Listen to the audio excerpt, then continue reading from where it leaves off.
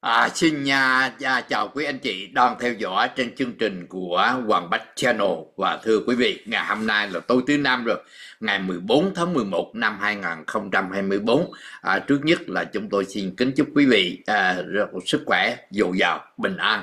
Và cảm ơn quý vị đã đồng hành với chúng tôi trong cái chương trình của Hoàng Bách Channel thưa quý vị. À, mấy ngày hôm nay thì chúng tôi biết là quý vị biết là năm à, trong những tháng trước đó chúng tôi nói là nó hoài về ông Trump cho nó mệt quá. Và nhiều khán thính giả cũng đề nghị là ô sao ông Trump ông có nhiều chuyện để nói mà bây giờ thì ông Trump ông là tái thắng cử trở lại cho nên là cần nhắc ông nhiều hơn phải không? Có nhiều vấn đề để nói về ông Trump. Nhưng mà à, trước tiên thì chúng tôi nói cái bản tin ngày hôm nay là bản tin của tổng thống Joe Biden đi lên đường tham dự hội nghị APEC và hội nghị G20 hội nghị APEC thì ở Peru và hội nghị G20 thì ở Brazil. Cho nên tổng thống có lẽ đây là cái chuyến đi mà của tổng thống suốt cuộc đời của ông đó làm chính trị 50 năm rồi. Đây là lần đầu tiên mà ông đi để mà có uh, thứ nhất là tới để chào tạm biệt uh, các cái vị lãnh đạo trên thế giới. Và ông Biden cũng cố gắng ngăn cản để không trở lại. Mặc dù ông cố gắng ngăn cản ông Donald Trump không trở lại chính trường, nhưng mà rồi cuối cùng ông cũng trở lại. Đó, bây giờ từ thì à, cũng không có bằng ý ý ý ai cũng không bằng ý ý dân ấy. Ý trời cũng không bằng ý dân. Thì quả thiệt là ông Trump đã trở lại. Đúng hay sai thì chúng ta chưa biết và chúng ta sẽ bình luận thêm.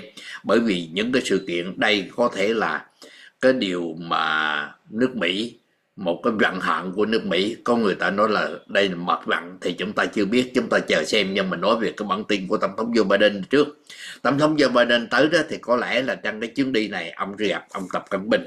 Vì có ông Tập Cận Bình và lãnh đạo của Nhật Bản lãnh đạo của Nam Hàn cũng như là ở Brazil và nhiều lãnh đạo khác.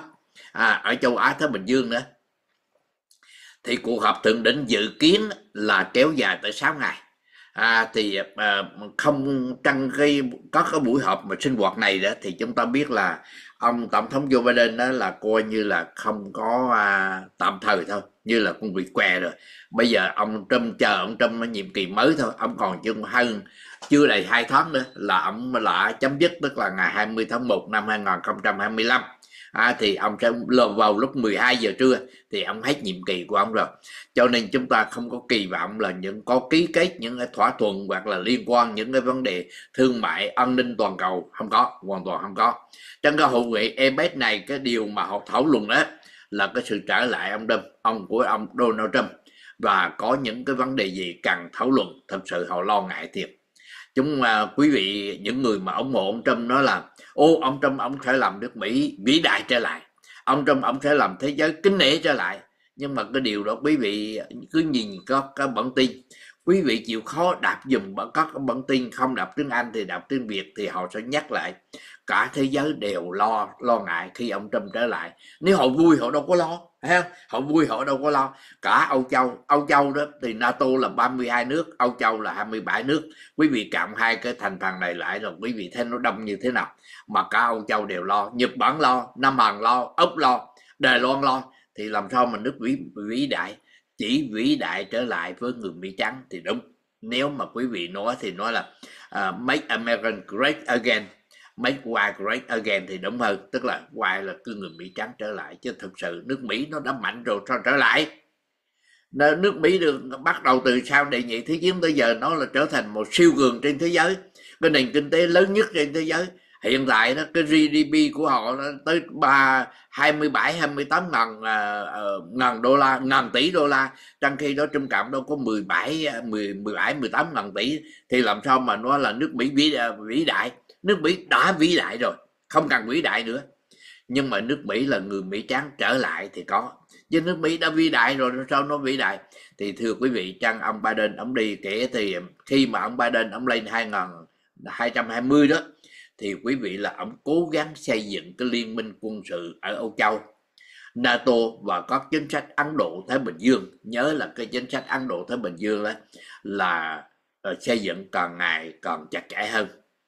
À, ông cố vấn an ninh quốc gia của ông ờ, đó, của tổng thống Joe Biden đó, là ông uh, Sullivan đó, thì ông nói như thế này ông ông phát biểu ngày 13 tháng 11 ông nói với có cái hãng thông tấn đó trong cái cuộc họp báo ông nói là tổng thống Biden đi kỳ này đó thì ông gặp gỡ các nước và các đồng minh của Hoa Kỳ. Thì ông à, sẽ trân trọng ông à, trân trọng cảm ơn của họ đã và, và các cái liên minh chặt chẽ từ Âu Châu tới Á Châu liên minh và hỗ trợ cho nước Mỹ đã cảm ơn để mà có thể làm thế nào để mà giải quyết những vấn đề toàn cầu thì đây là vấn đề ông đi lần cuối cho nên ông cũng cảm ơn các đồng minh của uh, của Âu Châu của Á Châu đã liên kết và đã hỗ trợ cho Mỹ để mà giải quyết những vấn đề toàn cầu. À, vào ngày 16 tháng 11 thì tổng thống Joe Biden gặp ông Tập Cận Bình ở trong cái hội nghị APEC à, ở Peru. Đây là cuộc gặp lần thứ hai. Chúng ta biết là uh, năm 2020 2023 thì ông Tập Cận Bình và Tổng thống Joe Biden có gặp nhau ở San Francisco. Quý vị nhớ không? Tổng thống Joe Biden không chuyển không chuyển một cái thông tin gì thường thường đó thì cái vị tổng thống mà tăng đắc cử đó tổng thống đắc cử đó thì họ gửi một cái thông điệp. Họ nhờ cái người mà cựu uh, tổng thống ông uh, đương kim tổng thống đó chuyển một cái thông điệp gì đó. Nhưng mà không tổng thống Biden nó không chuyển bất kỳ một cái thông điệp nào của ông Trump gửi đến cho ông Tập Cận Bình cả nhưng nhắc lại sự cần thiết là tránh xung đột. Bây giờ thì tổng thống Joe Biden nhắc nhở là hai quốc gia nên thận trọng cân nhắc. Đừng có để bất cứ một sự xung đột nào xảy ra trên thế giới nó không tốt. Tổng thống Biden sẽ gặp ba bên với thủ tướng Nhật Bản Nam Hàn. À, và cũng gặp tổng thống uh, của Brazil tức là ông uh, Lula si, uh, Lula da Silva. Cái ông này Lula da Silva. Thì cái ông này ông cũng không ưa ông Trump nha à, ông này ông cũng là một chống à, vì ông à, trước ông đó ông tiền nhiệm của ông đó là một người hỗ trợ với ông Trump ông bây giờ bị điều tra rồi. Quý vị nghe trong những ngày vừa qua đó thì gây chấn động ở trong nước Mỹ là khi ông Trump bổ nhiệm những cái người mà họ nghĩ là nó nguy hiểm cho nước Mỹ. Bây giờ bây giờ chúng tôi nói trước đó là bổ nhiệm ai? Bây giờ ông nhắc lại ngày hôm nay thì ông chính thức ông bổ nhiệm ông Robert F. Kennedy. Ông Robert F. Kennedy đó là con trai của ông à, Robert F, à, Robert Kennedy. Tức là ông Robert Kennedy đó là thượng nghị sĩ mà hồi đó đó là nhận à, ông là ông là bộ trưởng bộ tư pháp. Thì ông bị ám sát. Khi ông ra ông ra ứng cử ông bị ám sát chết. Cũng như là ông anh của ông là John Kennedy cũng bị ám sát. Thì ông Robert F. Kennedy này đó còn có tên đó là ông là Poppy. À, thì ngày hôm nay ông Trump bổ nhiệm cho ông đó là sẽ làm cái gì? Bổ nhiệm cho ông là làm bộ trưởng bộ y tế à, bộ trưởng bộ y tế thưa quý vị. Đây là cái vai trò cũng khá là quan trọng nhưng mà chúng tôi nói là à, chúng tôi thưa với quý vị là bộ trưởng y tế và dịch vụ nhân sinh thì ông à, trước nhất là nói về ông Robert F. Kennedy, gọi là Bobby đó. Chúng tôi gọi ông Bobby cho dễ đi. Ông Bobby này đó là trước đây là con dòng dõi, là truyền thống, là đảng dân chủ. Nhưng mà ông này ra ứng cử với hình thức là đảng dân chủ, nhưng mà không ai để ý tới ông. Bởi vì ông là một người rất là bất thường nè thưa quý vị, bất thường. Rồi sau đó ông ra ông ứng cử với tính cách độc độc lập rồi ông liên lạc liên lạc với bà Kamala Harris. Nếu mà ông ủng hộ đó thì đắc cử cho ông làm chức vụ gì đó. Bà Kamala Harris cũng không đồng ý. Thì bà liên lạc với ông Donald Trump. Và ông Trump chấp thuận. Thì bây giờ ngày hôm nay ông Trump thắng cử. Cho nên ông Trump bổ nhiệm ông làm cái chức vụ là bộ trưởng bộ y tế và dịch vụ nhân sinh. Nhưng mà ông này đó là là không tin vào à, vaccine ông cho ông cho rằng là vaccine là nguy hiểm, vaccine là giả chứ không cần thiết. Và ông không tin vào khoa học luôn. Và ông cũng không tin vào, gọi là, biến đổi khí hậu hay là cái quả địa cầu này nó hâm nắm này ông không tin những cái chuyện đó. Cho nên cái gia đình của ông Kennedy này đó, ông đã từ ông rồi coi như không không nhìn nhận ông là cái người mà ra ứng cử trong cái dòng họ họ những người uh, cô chú bác anh em gì đều bắt mẫn. Vì ông này rất là bất thường. Coi vậy mà cũng có hai ba đời vợ lớn, thưa quý vị. À ông ờ, ông ờ, ông, ông Trump thì ông nói ông này là người tuyệt vời để giữ chính quyền để đem lại sức khỏe cho người dân của Hoa Kỳ và bảo vệ về hóa chất độc cũng như là chất ô nhiễm à, trừ sâu vân vân và vân vân ông Bobby này thì ông ông cũng bê bối lắm, tình ái đồ ông cũng lan nhăng lắm. Nhưng mà bây giờ quý vị có nghĩ là một một ở trong cái nội các của ông Trump mà do một người mà gọi là ờ, coi như là nếu mà chúng ta nói là một người mắc dây một người mà không tin vào khoa học một người không tin vào vaccine mà đứng ra làm bộ trưởng y tế thì dược phẩm các cái cơ quan uh, thuốc thang của cái viện bào chế thì nó như thế nào? Bởi vì ông sẽ điều hành nó nguy hiểm lắm. Nhưng mà ờ, những người bỏ phiếu cho ông Trump thì từ từ rồi sẽ thấy thấm đòn. Rồi uh, tức là chính mình sẽ là nạn nhân của những cái vấn đề đó. Giao cho một người mà không phải là người hiểu biết về y tế và không tin vào khoa học mà ông lại là luật sư về môi trường nha. Ông này là luật sư về môi trường. Ông nghi ngờ tất cả những cái vaccine những cái âm mưu mà ông thường đưa ra thuyết âm mưu nữa thưa quý vị. Cho nên đây là cái điều rất là nghịch lý ha rất là nghịch lý khi bổ nhiệm cho ông này. Thì chúng tôi đưa cái hình để quý vị thấy ông này đó. Cái giọng nói ông khàn khàn không ai nghe được hết à, ông ông đây.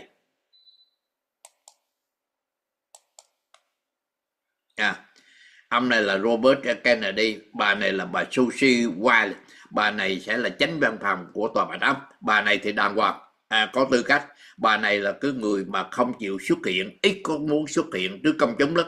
Không có ờ, thích nói chuyện với báo chí. Của bà có vẻ làm việc kín đáo ở phía sau. Còn ông này là là ai cũng biết rồi là tỷ phú Elon Musk mà tỷ phú Elon Musk thì lát nữa chúng tôi sẽ có bản tin nói về cái ông tỷ phú Elon Musk này. Nhưng mà qua ba cái nhân vật này thì cái nhân vật này là cái nhân vật mà không tin vào khoa học thì làm sao làm bộ trưởng bộ y tế, thưa quý vị? Cho nên ông Trump, ông đặt để những cái người mà chịu nghe lời ông. Người không có khả năng. Một cái chính quyền giỏi là cái chính quyền đó là những cái nhân sự chuyên gia, những chuyên viên, những người có cái tầm nhìn chiến lược thì mới là cái một cái chính phủ, đó là chính phủ của dân do dân, vì dân và của dân. Còn cái chính phủ này là chính phủ gia nô cái chính phủ mà không có muốn là có người tài mà chỉ chọn chọn những cái người mà nghe lời mình không. Lát nữa chúng tôi sẽ nói về ông Elon bởi ông Elon nếu mà quý vị nói ra thì tại sao ông Elon là một người tài? Đúng ông Elon Musk là một thiên tài. Ông là một người rất là giỏi có đầu óc rất là kinh doanh rất là giỏi. Trở thành bây giờ là một tỷ phú có vào khoảng 300 tỷ đô la trở lên. Có công ty Tesla của ông là nhiều công ty lắm. À, thì quý vị biết là à, công ty X của ông đó mạng xã hội đó. Nhưng mà ông này đó có cái tật người ta nói có tài thì có tật.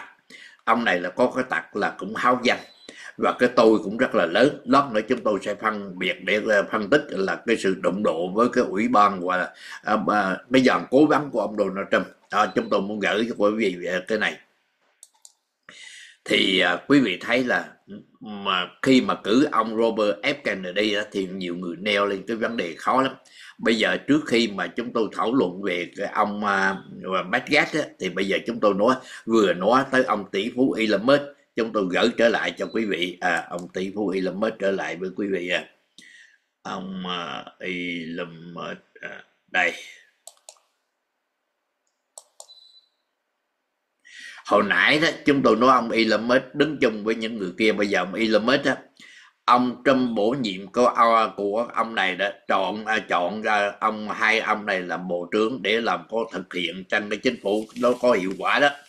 Thì à, thưa quý vị chúng tôi nói nha theo truyền thông vừa mới đưa tin ngày hôm nay, tức là của NBC News, họ cho biết đó là các cố vấn của ông Trump, họ rất lấy làm khó chịu với tỷ phú Elon Musk.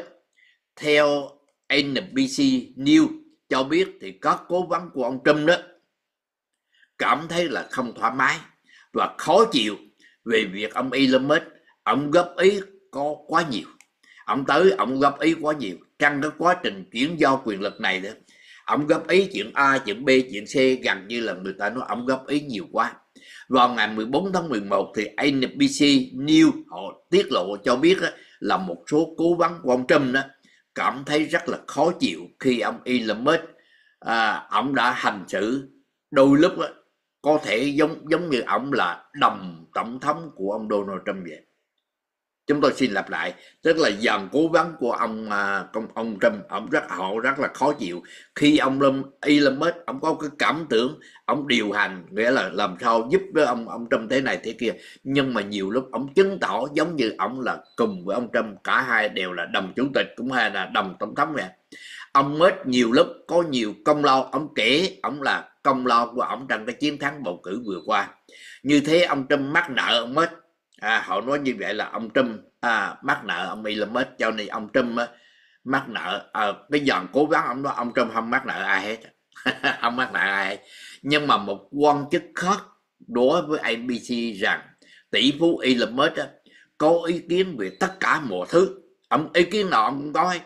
Và nhiều nhiều ờ, và cái điều này đã bắt đầu khiến cho các dần cố vấn của cho ông Trump đó cảm thấy là rất là khó chịu cảm thấy rất là bực bội và khó chịu. Ông mới muốn được là người có tiếng nói trong mọi vấn đề. Ông ông ông muốn là ông Trump để cho ông có tiếng nói trong mọi vấn đề. Việc vận động hành lang quá mức có thể làm hại cho cái quan hệ giữa ông Donald Trump và ông ông ông Musk nữa. Các nhà truyền thông của Mỹ nói rằng ông Elon Musk là người có ảnh hưởng rất lớn tới các cái việc mà bổ nhiệm nhân sự của ông Donald Trump bây giờ thì chúng tôi thưa với quý vị tôi chúng tôi đã thưa đó là ông Elon Musk và ông Trump cả hai đều là có tham vọng lớn và cả hai đều có cái mộng độc tài. Và chỉ có cái tôi là lớn nhất. Thì một ông là tỷ phú một ông là vừa có quyền lực thì hai ông này quý vị có động nghĩ động không? Chắc chắn là động rồi chứ không có cách gì là không động mấy phải không thưa quý vị. À, thì quý vị đã hai ông này mà bây giờ ông trong ông cử ông Vivek chúng tôi gọi ông uh, Vivek Ramaswamy. Ông này là gốc người Ấn Độ ra ứng cử và hai ông này đó làm bộ trưởng uh, trong của, của, của, của, chính phủ là làm bộ hiệu quả trong chính phủ. Thì hai ông này đó ông này thì ông này là triệu phú ông này là tỷ phú mà tới gần 300 tỷ. Thì quý vị thấy cái ông tỷ phú mà 300 tỷ ông có qua ông này đâu có ra gì ông cô ông Vivet này đều có ra gì. Nhưng mà ông Trump ông để hai ông này làm đồng chủ tịch trong cái ủy ban gọi là hiệu trong cái chính phủ của cái bộ mà hiệu quả chính phủ đó thì chắc chắn là phải động nhau phải không? Quý vị thấy có động không? Chắc chắn là động rồi. Bởi vì ông à, Vivet này là là một anh chàng gọi là hao danh rất là trẻ khoảng hình như 40 bốn hơn 40 tuổi. À, còn ông ông à, ông Elon Musk là 53 tuổi. Cả hai người đó đều là có cái tham vọng. Và đều muốn định đều là gia nô của ông Trump. Nhưng mà ông Elon Musk á, ông gia nô ông Trump nhưng mà ông có tham vọng khác. Ông muốn khuynh luất ảnh hưởng trong cái chính trường để ảnh hưởng cái công ty của ông vào bộ quốc phòng. Bởi vì quý vị biết là những cái công ty của ông Elon Musk như công ty à, à, uh, uh, Starlight Starlight đó thì công ty này có nghĩa là chính phủ đã bỏ vào khoảng 2.8 tỷ đô la. Và họ ký hợp đồng với bộ quốc phòng nữa rồi công ty à, uh, mạng X của ông nữa. À, uh, Twitter ngày trước đó là ông mua lại 44 44 à, tỷ đô la. Thì ông là giàu có ông muốn ảnh hưởng để mà từ dùng quyền lực để mà đưa vào những cái công ty có lợi cho ông. Thì bây giờ chúng ta biết là trong hiện tại chưa biết nhưng mà qua cái sự kể như thế này quý vị thấy là giữa những cái thành phần mà tham mưu hay là cố gắng của ông Trump đó họ đã bất mãn ông Elon Musk. Bởi vì ông Elon, Elon Musk muốn chứng tỏ mình là ngon chứng tỏ mình là có công giúp cho ông mà Trump thắng cử. Cho nên muốn họ họ muốn chứng tỏ mà người, người trong cái ban điều hành trong cái ban tham mưu của ông Trump đó nhiều lúc nghĩ là ông Elon Musk đó, giống như là ông là tổng thống ai đó cho không phải ông Trump nữa thì thế nào cũng đụng độ nhau. Quý vị, xin quý vị theo dõi và quý vị cho ý kiến coi thử có đụng nhau không. Bây giờ chưa, gọi là bây giờ chưa chưa nắm ở guồng máy. Bây giờ đang xây dựng cái guồng máy, chuẩn bị nhân sự để mà vào ở trong à, tòa bà ốc tới ngày 20 tháng 1 mà khi họ nắm cái guồng máy rồi đó, lúc đó mới tiếng này tiếng kia, rồi mà tranh chấp với nhau và lớn tiếng với nhau, thì chắc chắn sẽ xảy ra. Không có làm gì tránh khỏi quý vị bình luận thử cái, tiên đoán thử cái cái điều mà chúng tôi nói nó có đúng không? Nhưng mà chúng tôi nghĩ là nó sẽ xảy ra không lâu lắm đâu. Bởi vì khi những cái người mà có tài, mà có cái tham vọng, mà cái tôi lớn đó, thì sẽ đụng độ nhau thôi quý vị có sinh hoạt trong các hội ở hữu, trong các chùa hay là có cái sinh hoạt nhà thờ đó, thì có năm, mười người ngồi lại với nhau thôi, mà không có quyền lợi gì hết, chỉ có bỏ công sức ra để làm cái ban chấp hành của của của hội đó vậy mà đụng độ với nhau à, bóp chết với nhau, huống hồ chi đây là có quyền lợi nữa, cho nên rất là khó. Cái đội ngũ của ông Trump đó, họ họ tránh né là nó có sự mâu thuẫn giữa ông Trump và ông Elon Musk, họ chưa có nói. Ông Elon à, đến nỗi rồi nói ông ông đi lắm mất ông lấy ở Malago đó ông không chịu về. À đến nỗi là ông ông ở đó để để ông lo ông điều hành chung với ông Trump nhưng mà ông Trump ông nói là bây giờ ông Elon Musk ông không chịu về làm sao nói? À thì đó là cái điều khó khăn cho nên càng ngày mới bắt đầu thôi. Nó chưa có gì nhưng mà càng ngày thì quý vị thấy nó sẽ mâu thuẫn trầm trọng nhưng mà ông Mết là cái người thông minh và có một cái cá tính rất là đặc biệt theo lời của ông Trump nói thì sở dĩ đó, ông Trump những ngày đầu thì ông o bế ông này, bởi vì cái cuộc bầu cử vừa qua đó, ít nhiều phải nói là cái công của Mỹ là mất tạo cho ông Trump thắng cử. Nhưng mà thắng cử thì lúc đầu họ bổ nhiệm cái chức vụ thôi. Nhưng mà sau đó anh này đùa hổ quá đó, thì chưa chắc đã đồng ý với nhau. Mà những cái người mà có tài, thương gia sao á, thì họ có dễ xung đột lắm. Đó là những cái điều mà quý vị sẽ thấy trong tương lai gần, nó có xung đột với nhau nha bây giờ đó đó là chúng tôi nói là ông Trump bổ nhiệm cứ người là ông Robert ông Buffy đó vô làm bộ trưởng y tế đó là người ta đã à, người ta đã đặt cái question nghi ngờ. Mà mấy bữa nay thì ông đặt à, ông à, đề cử những người nào đó cũng có nghi ngờ ngoại trừ một số người. Ví dụ như là ông Marco Rubio thì làm bộ trưởng ngoại giao thì đúng ông này làm thượng nghị sĩ ông có tư cách ông đàng hoàng thì ok bây giờ chúng tôi đưa cái hình đó là một cái hình nữa là, là hình ông này.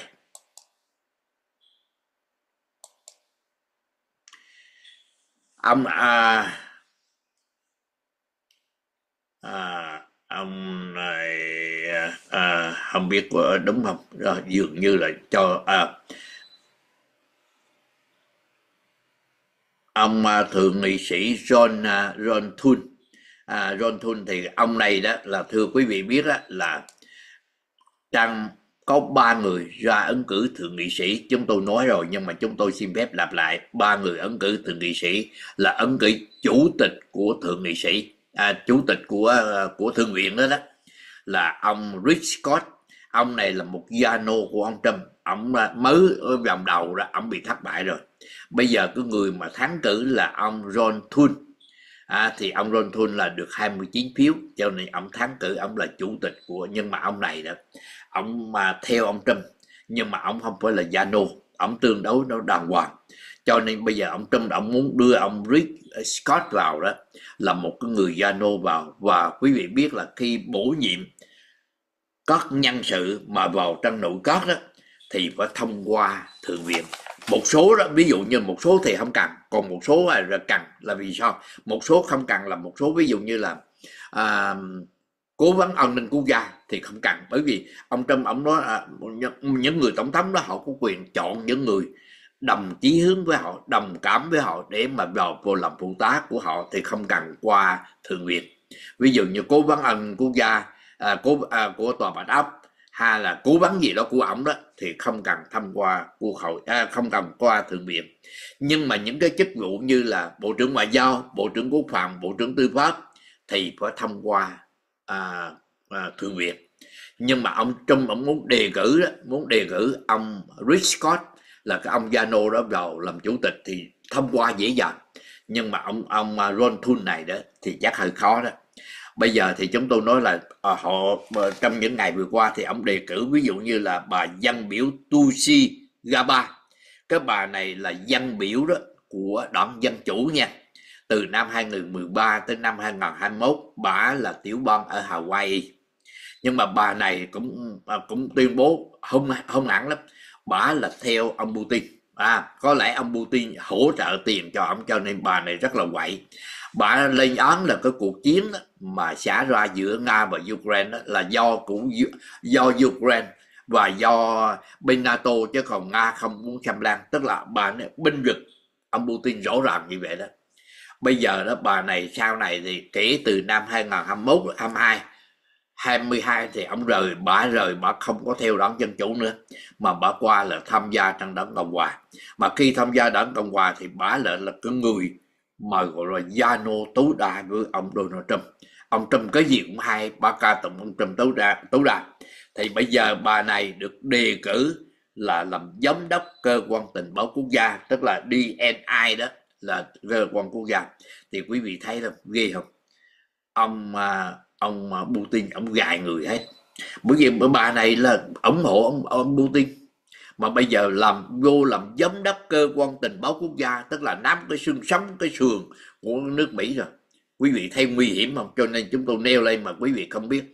Ông trong ông bổ nhiệm những cái người sẵn sàng làm giả nô thôi. À mà một ông như là chúng tôi nói là ông à, ông Peter Hegseth ông là một đại quý thôi. Ông là đi lính. À ông đi lính rồi ông ở qua ở bên Iraq rồi uh, Afghanistan. Nhưng mà rồi ông giả ngủ lúc ông giả ngủ thì năm 2014 rồi ông vào ông làm cho công ty à, đài truyền hình Fox News nhưng mà sau này ông làm quen rồi đó bây giờ nó trở thành là một cái người gọi là hướng dẫn chương trình. Nhưng mà ông này là chuyên môn đưa ra thuyết uh, âm mưu và hỗ trợ ông Trump tối đa. Lên án lên án uh, lên án uh, lên án cuộc chiến ở giữa Ukraine à, rất là nguy hiểm. Mà ông biết quý vị biết tưởng tượng là một cái người trẻ 44 tuổi thôi làm đài truyền hình thì đâu có cái khả năng tham mưu. Bây giờ ông lên ông coi một cái ngân sách điều hành một cái ngân sách là 800 tỷ đô la. 800 tỷ đô la quý vị tưởng tượng không? 800 tỷ đô la cái ngân sách của Bộ Quốc phòng. Rồi ông điều hành luôn cả 1.3 triệu quân nhân hiện dịch. Quân nhân là tức là hiện dịch đó. Và 1.4 triệu binh lính, quân đội mà là lực lượng trừ bị quá lớn không? Một người mà chưa có hề có kinh nghiệm liên lạc với các bộ trưởng quốc phòng của các nước trên thế giới, cả NATO cũng như Ai Châu chưa hề biết gì hết, mà là đề cử lại làm bộ trưởng bộ quốc phòng, thì quý vị thấy không? Mà bây giờ họ lập một cái danh sách để mà trừng trị những cái người mà trước đây chống ông Trump trong đó có ông Milley hay là ông à, ông Milley thì ông về hưu rồi. Ông ông Mark Milley là chủ tịch hội đồng liên quân à, Hoa Kỳ về hưu rồi. Thì bây giờ cái ông chủ tịch ông này là đại tướng nha. Đại tướng không quân ông là là Charles Brown. À, ông làm mỹ đen. Thì ông này ông đặt câu hỏi như thế này. Ông nói ông Charles Brown nếu không ông không phải là mỹ đen thì ông có được lên làm mà chủ tịch hội đồng liên quân không? Tức là có máu kỳ thị nha một người kỳ thị trong quân đội và ông à, ông còn nói nữa ông sẽ không cho nữ quân nhân tham gia vào chiến tranh. Ông kêu nữ quân nhân à, là giới tính nữa ông kỳ thị giới tính nữa. quý vị thấy nguy hiểm không? Mà lên làm bộ trưởng bộ quốc phòng. Ở đó là những cái điều mà chúng tôi bây giờ chúng tôi gửi quý vị cái hình ảnh của một người mà còn bằng bạc à, ờ, trong những ngày vừa qua đây này. Họ bằng bạc và họ họ phẫn nộ nữa kể cả những người đảng viên của đảng cộng hòa lẫn dân chủ nha. Quý vị tưởng tượng ông này là ông dân biểu Matt Matt ghét ông này người ta gọi là ông mặt rẻ đây mà là một cái người trẻ năm nay mới bốn ngoài 40 tuổi. Là một người playboy ăn chơi hút sách. Nhưng mà vào làm dân biểu là luật sư. Nhưng mà luật sư ở trường cũng trường nhỏ lắm. William cái trường cũng không ai biết nữa. À, William thì ông luật sư nhưng mà chưa hành nghề. Rồi ông ra ứng cử con nhà giàu. Thì hút sách rồi ông có liên quan người bạn của ông đó là dẫn gái, dẫn cô các cô mà gọi là ấu dâm thì ông đúng. Mấy cô này là 17 tuổi, còn nhỏ vị thành niên. Nhưng mà gọi là mãi dâm, đường dây mãi dâm của giới trẻ. Tức là hút sách này rồi trả tiền cho các cô mà vị thành niên chưa đủ tuổi thì anh chàng này đang bị bộ tư pháp điều tra. Nhưng mà tụ bộ tư pháp họ tạm thời họ ngưng đó. Thì bây giờ đó gọi là ủy ban đạo đức ở trong hạ viện đó của đảng cộng hòa nha của đảng cộng hòa đang điều tra ông này. Dự trù là sẽ đưa ra à, trình bày thuyết trình à, trước à, ủy ban đạo đức đó vào một hai ngày tới đây.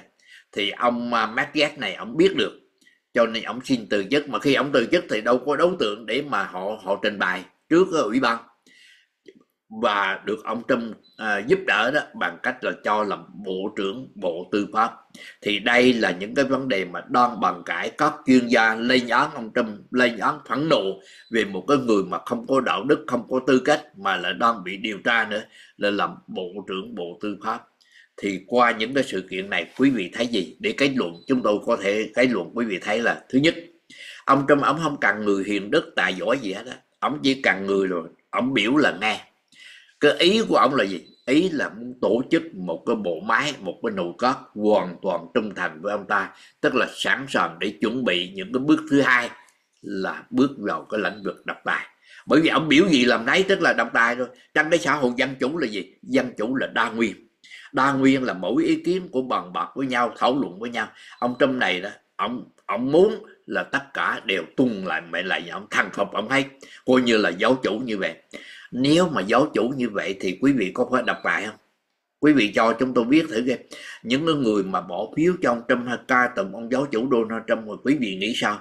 Khi mà một người như ông Matt này đó, tội ăn chơi, hút sách đòn điếm rồi là gái gú mà bị thành niên nữa, đang bị điều tra, mà bây giờ cho làm bộ trưởng bộ tư pháp thì bố ở chỗ, quý vị nghĩ sao?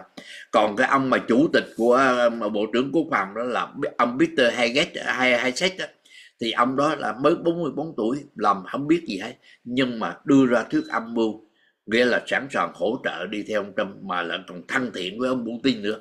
Thì quý vị thấy ghê không? Cái chính phủ Hoa Kỳ tương lai chúng tôi nói đi về đâu quý vị không tin. Chúng tôi biết là những ông à, những người MAGA ở Việt Nam rồi họ không tin đâu. Nhưng mà quý vị đi theo dõi lấy tin tức đạp tin tức của nhiều cơ quan tình à, cơ quan mà họ bằng bạc với nhau đó thì quý vị sẽ thấy nước Mỹ thực sự là đang đi về đâu chúng ta chưa biết nha. Nó rất là nguy hiểm chứ không phải là đơn giản. Bởi vì một người đó muốn độc tài là người phải đưa hết những cái đệ tử của mình nó trung thành với mình. Quý vị sẽ bây giờ tưởng tượng thôi trong một cái băng đảng thì đứa nào mà đoạn trưởng đó là đoàn em là phải nghe ráo hết. Đứa mà đứa rồi quay trở lại chống á, là bắn bắn bỏ. Thì ông Trump ông ông đang dần dựng chuẩn bị một cái nội các mà cái nội các đó hoàn toàn là chỉ biết tuân thủ giáo chủ mà không có đi khác đường lối. Đề đề chúng tôi thấy đó là xin đề cử những người mà hoàn toàn trung thành với ông ta, mà hoàn toàn không có không có khả năng. À chúng tôi khi nói cái bài đó thì chúng tôi gửi cho quý vị ờ, bài này. Quý vị tưởng tượng cái cô này làm dân biểu đâu không biết áp giáp gì ở Hawaii mà bây giờ là đưa vào làm giám đốc cơ quan tình báo quốc gia. Mà cô này là ca tụng ông Putin. Và gọi là chống lại NATO nó chống lại cuộc chiến của Ukraine. Thì quý vị, khi mà cổ làm làm làm giám đốc cơ quan tình báo thì coi như tất cả ờ, gan ruột gì của nước Mỹ đó là cổ sẵn sàng chuồng cho Putin hết thì làm sao nói. Quý vị thấy không? Thì chúng tôi nêu lên, chúng tôi báo động là đây là cái điều nguy hiểm. Bởi vì như là ông Marco Rubio đó thì ông là thượng nghị sĩ ông này đàng hoàng không sao hết. Mặc dù ông đi theo ông Trump nhưng mà ông vẫn có tư cách. Còn những người như cô mà à, Tusi à, Gaba này đó cô này đó trẻ như thế này đâu có 40 tuổi sinh năm 1981 quý vị à, 81 thì à, năm nay 24 tuổi quý vị thấy không? Mới đâu có 4, 44 45 tuổi à, rất là trẻ thì làm sao biết gì mà làm tình báo? Đó là nước Mỹ. Quý vị, cho nên nếu quý vị theo dõi thì chúng tôi đưa ra đó, mà đặc biệt là cái ông, đề cử cái ông mà bộ trưởng bộ tư pháp đó, thì bây giờ ngay cả đảng cộng hòa mà cũng còn bất mãn. Nghĩa là chống đối về cái ông này không có khả năng mà ông là đang bị điều tra đó, quý vị thấy. Đến đây thì chúng tôi xin phép khép lại chương trình. Chúng tôi ký, kính chúc quý vị có nhiều sức khỏe. Xin kính chào và mong quý vị hỗ trợ cho bằng cách quý vị subscribe, like và share chương trình cũng như viết comment. Chúng tôi xin kính chào và hẹn với quý vị trong chương trình lần tới.